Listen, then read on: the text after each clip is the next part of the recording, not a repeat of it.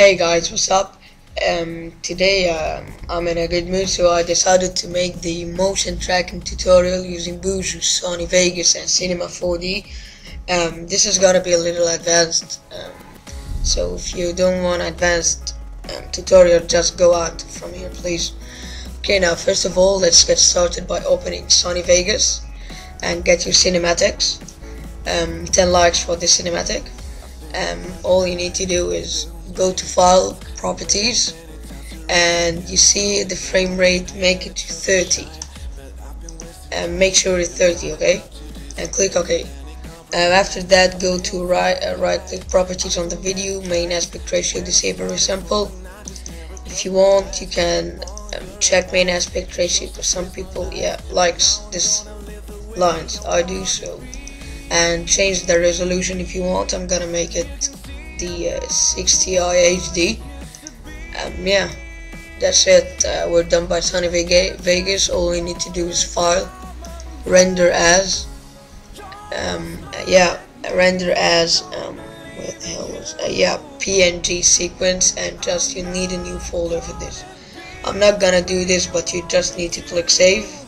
I'm not gonna do this because I already created mine over here now yes, after you did this, you just open Boujou 5.0 or any Boujou version you got.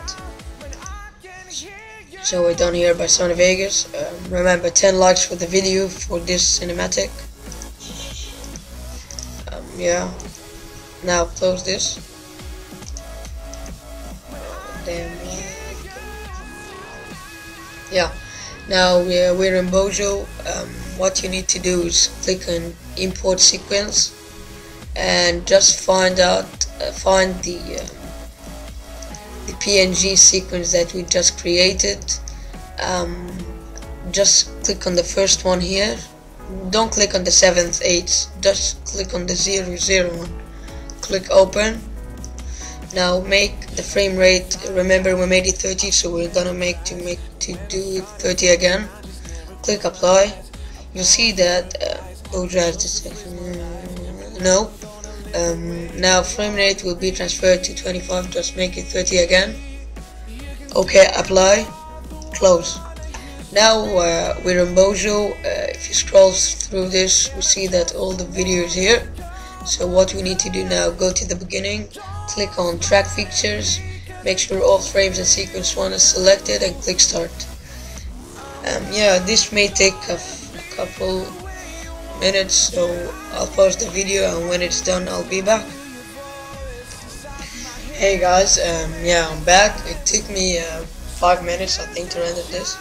Okay now um, as you see here these red dots means uh, that the video is motion tracked. It's being recognized now okay? So what we're gonna do now is go to uh, uh camera solve and all frames sequence 1 and make sure you click on optimize camera path smoothness and click start this finishes quickly and it depends on the length of your video. My video is um, about 13 seconds but also the track features depends on the size and the um, and the length of the video you know yeah so it's done here. This most of the video is motion tracked now. See here is uh, uh if you want to know how it's motion tracked the dots aren't moving a lot you know? The dots are in its place. So yeah what you need to do now is go to the middle about the middle of the, your video. Go to scene geometry. This is the hardest part in the um, in the motion tracking so be careful we're gonna click add coordinates from hint and as you see here this is called origin. What does origin mean? It's called the middle. So uh, we want our text to be here in the middle so just we found the most place that is in the middle so this is I think this is the most middle here. So click on uh, when you select it it's gonna be highlighted in green. Click on connect to selected now click on add coordinates from hint, but the type we're gonna make it x-axis. X-axis runs um, horizontal, so we're gonna make I mean uh, we're gonna tell Cinema 4D and Boujou that this is the the width of our cinematic you know so we're gonna um, select two points maybe this one and this one and click connect to selected now the last one and the last step of all click on add coordinate from hint. And the type we're gonna change it to z-axis. Z-axis runs horizontal but it's gonna also be the depth and the length of the video you know? So just let's find two points. Maybe this one and um, this one maybe. These are running um, vertical and click on connect to selected and update frames a few times. You know now know sometimes you can be um, let's uh, try to add a text object. Yeah it's in the middle pretty damn middle. But I mean in the beginning it's gonna be a little hard. Uh, you may find this text upside down and stuff so try don't give up. I know it's fucking annoying but add geometry depends also on your math. So if you didn't take good math in school so then you're fucking retard okay now click on update coordinates sometimes. Yeah guys um, here is it in the middle. Um, so yeah we're done in Boujou what we need to do is click on export. Export camera solve and uh, go to export type. We're gonna put it on cinema 4d and the scale this is the most important part. The scale make it to 100 this is important huh so click on save. Um, shit where the hell did I save it? Oh I'm stupid. Fuck me. Fuck me I'm stupid. I'll add it on my desktop. Um, fuck me fuck me. And uh, cinema 4d and 100 yeah. So click on save. So here um, just double click it and we're gonna be in cinema 4d now. Um, yeah when I'm cinema 4d uh, I'll pause the video and start again. Okay guys we're in cinema 4d now. As you remember in Boujou we made the scale to 100 but this one we're gonna make it 10 centimeters so it's okay click ok as you see here there are these are the dots that we have motion tracked you know. There's gonna be shit and stuff but just double click here to create a new material if you don't know how? Just create new material but just double click easier. Yeah and double click this make sure color selected texture um, load image. And now concentrate with me please this time. We're gonna put the video that we had before um, we put it on Sony Vegas. I know I mean um, before we did the PNG the original video. We need to put this one the original one before we transferred it to a PNG you know? So click open uh, no. And yeah uh, just go to this one uh, background. I'm saying um, I'm Cinema 4D R13 so just create a new background. Put your background over here yeah? Now what you want to do is uh, MoGraph uh, Mo text. And just type your text easily but I'll tell you how because it's uh, kind of tricky over here. So just type any text you want. I'm gonna type in recon. And uh, I'm just gonna change the font real quick. Jared and 50 maybe. And make sure caps um, fill a cap and the end is fill a cap and just drag this over here. We're gonna decrease the size here real quick. Um, yeah and now if you want to make it near or far just don't move it like this. Um, just do with these arrows you know? So yeah it's here good I think. Now what you need to do is add some shadowing. So we're gonna add um, a floor and um, click on the on the material control and duplicate it to the floor. And now go to right click on the floor cinema 4d tags and compositing. Now go to tags disable self-shadowing and enable compositing.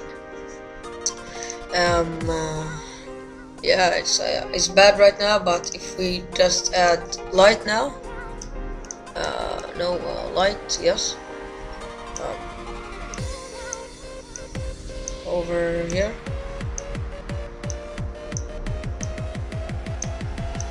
It's gonna be it's gonna suck also but I'll tell you what.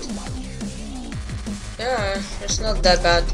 I'm gonna move my text a little over here. I'm gonna enlarge it. Yes.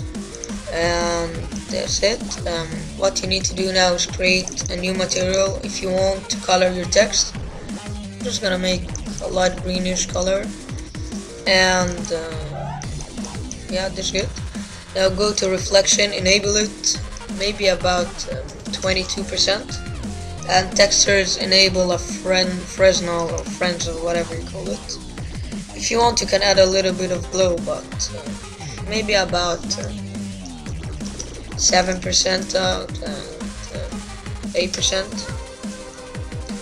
Um, yeah, um, now drag this material to your mode text.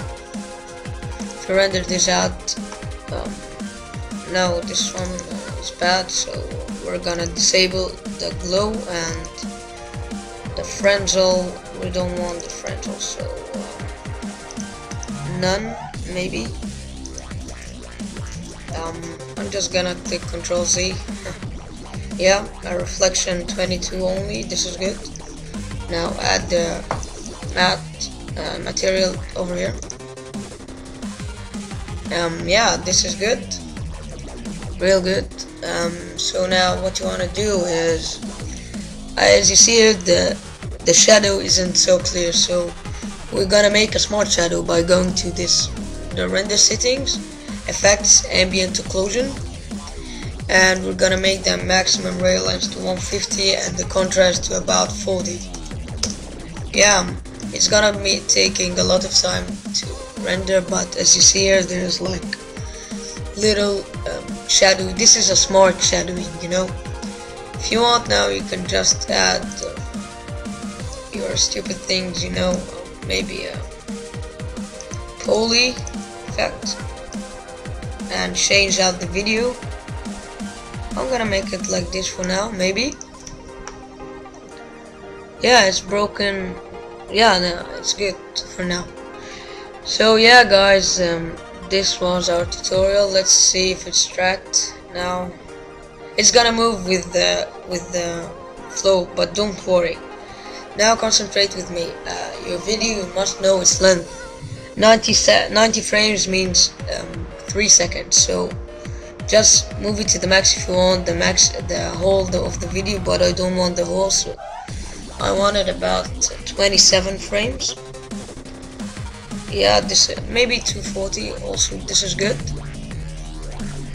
We're gonna stand over here to see how is it if you don't believe me. It's here it's in, in its place it's pretty damn motion tracked. Um, I guess we maybe need to move the text a little bit more. So if we click on here um, it's gonna take some time rendering but um, it's okay